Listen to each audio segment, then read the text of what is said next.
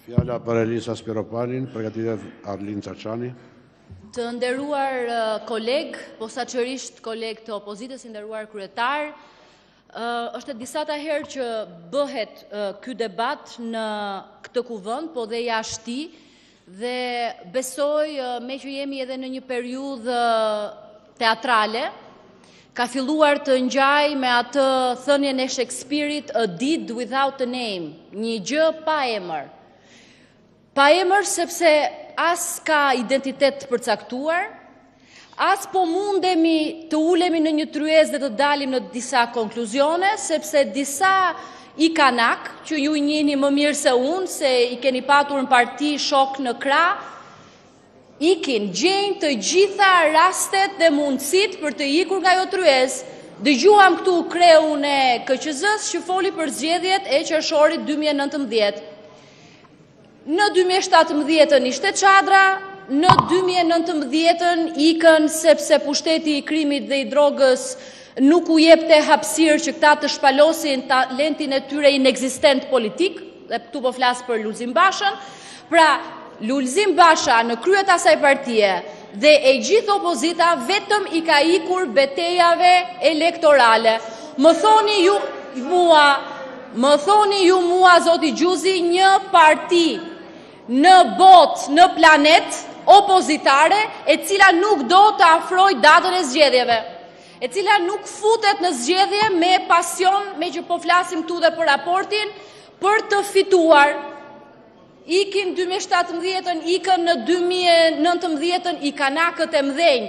Tani ikën nga tryeza sepse u prish u prish teatri kombëtar në qendër të Tiranës. Dakord mos dakord, po ajo që ndodhi ishte që nga një pryt protestë me ndjeshmëri të vërtetë qytetare të disa njerëzve që janë në të drejtën e tyre për të qenë aty, Ata e kanë kthyer atë në një skenë aty ku Monika luan rolin e Penelopës, ai tjetri Lulzim Basha të Odiseut që i ikën kësaj, dezhurni nuk po dinë ta mbajnë, turni nuk dinë ku e kanë, trupat e tyre nuk janë në rrënoja dhe kjo është kthyer dhe kjo është qesharake tani për të gjithë. Dhe pikërisht për këto vijat që mirë që Di ku i vendosin, po u vënë dhe ngjyrën sipër.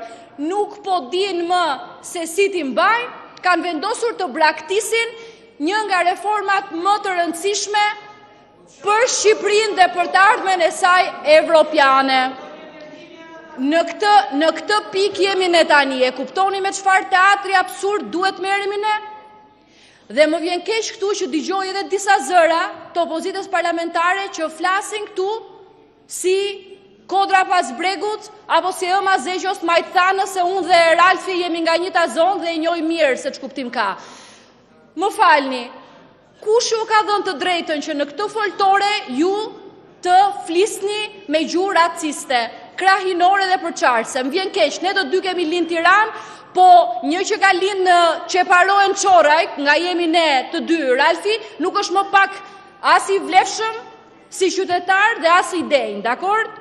Të lutem mos e përmend më e ke thënë gjithë ditën sot, jam qytetar, ata janë fshatarë, nuk ruajnë vlera qytetare, për cilat vlera qytetare e ke fjalën zotëri? Për ata njerëz aty që s'kan asnjë lidhje me artistët e mëdhenj, cilët të gjithë ata që i kanë dhënë shpirtin atij teatri janë për ndërtimin e një teatri dinjitoz kombëtar. E para sepse është kombëtariste ta duash këtë. Jo teatri ynë, një furrik dhe teatri i Shkupit gjigant. Pse kombi shqiptar ka më pak vlera se uh, kombi maqedonas? Pse qenkemi ne të destinuar që mos kemi një teatër operash dinjitoz, një teatër kombëtar dinjitoz, po ato janë themelet e shtetit.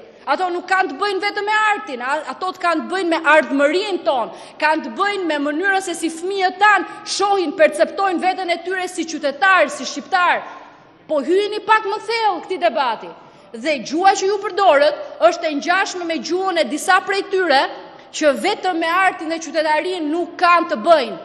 Një aradhë e paturpshme, shpifësash, Apo jo?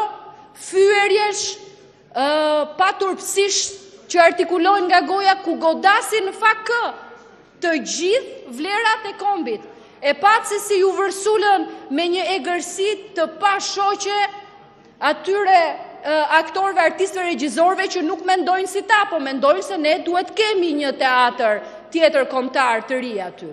Gudzuan deri aty Këta të dashuruar me mendimin ndryshe të sulmonin edhe Ismail Kadaren, monumentin e gjallë të gjenialitetit, kombëtarizmit dhe evropianizmit shqiptar, me gjuhë të fëlliqur. me mendim të egër, duke bërë gjyqe popullore i dëgjuat dje në atë protestë se ç'thoshin. Kishin nxjerr një karabina aty një ministër të Bashës e të tjerë në radhë që kanë marrë peng edhe ndjeshmëritë e atyre qytetarëve të Tiranës, patjetër për një vepër që ata e asocojnë me nostalgjinë e tyre rinore apo të fëmijërisë, Dhe fliste aty bënte dacibao, thoshte poshtërojini këta njerëz intelektualë të Tiranës, këshilltarë të bashkisë, i merrte me radhë emër për emër, po pse mor, nuk kanë fëmijë ata. Nuk kanë prindër ata që dëgjojnë emrat e tyre të poshtëruar në atë farë feje. Po ç'janë këta, mor, gardistë të kuq janë këta? Këta e paskan të drejtën absolute, këta qenkan mbrojtës të revolucionit kulturor. Jo kulturë s'kanë ata, po ata nuk dinë as ku lidhet ai gomari fare i artit dhe i teatrit. Dhe protesta e tyre mund të quhet mirë edhe protesta makbethiane e kafshimit të veshit. Dakord? Se tani, domethënë, protestë që ka për simbol Këto terma, kafshim veshi, tërheqje zvarrë, cila, kush janë këta që na dalin kundra, Robert Ndrenika është i shitur e i blerë, këta duke qenë se këta shiten e blihen çdo ditë, mendojnë se të gjithë ata që kanë firmosur për një teatër të ri dhe të gjithë ata që marrin vendime për të patur një teatër të ri, janë të shitur e të blerë sipas interesave të këtyre. Dhe shumë mirë ua tha Imami, Altin Imami mbrëm në emision. O zotëri tha, ju keni në mendje, tha vetëm blerjen dhe shitjen, tha, unë nuk funksionoj në këto terma. Unë dua një teatër, një skenë, ku unë bashkë me kolegët e tjerë, bashkë me aktorët dhe regjisorët mund të nderojmë Shqipërinë kaq duam ne. Ato të tjerat e tyre i kanë bërë vetë ata, se shisnin e blinin me radhë me kinostudio e me stadiume, nuk lanë gjë këtu, Pa nxjerrë në shitje ata. Vetëm 1.8 milion euro kanë investuar ata për kulturën, e kupton? Mesatarisht në një vit. Pra, asnjë ndjeshmëri, asnjë dashuri për vendin, asnjë kuptim për artin fare. Apo tani që ka ardhur koha të përballen këtu, të vijnë për reformën zgjedhore, sepse po përballen me zgjedhjet, kanë zgjedhur të ikin sërisht. Dy gjëra konkretisht, duan apo s'duan depolitizim të administrimit zgjedhor nga fundi në majë, nga komisioni i zgjedhjeve deri te grupet e numërimit. Një gjë dhe duhet të biem dakord edhe me ju dhe e dyta, kolegji zgjedhor nuk mund të jetë strehë për gjyqtarë të pavetuar, kaq, e duan me 15 veta, këta të jenë apo mos të jenë vetuar nuk ka asnjë problem, pra ne aty të fusim ca njerëz që zdim se ç'krime kanë bërë me atë që kyçin e drejtësisë në dorë, dakord? Ne jo jemi për reformim të thellë, jemi për depolitizim sepse lam nam me ato komisione zgjedhore, me ato komisione numrimi ku ziemi me njëri tjetrin me muaj të tërë Për votimin të jenë ca njerëz profesionistë aty me rotacion të shkojnë të bëjnë detyrën të jenë njerëz që përgjigjen para ligjit dhe para një ligji të fortë zgjedhor. Ky është propozimi jonë, na thoni si e keni mendjen. Faleminderit.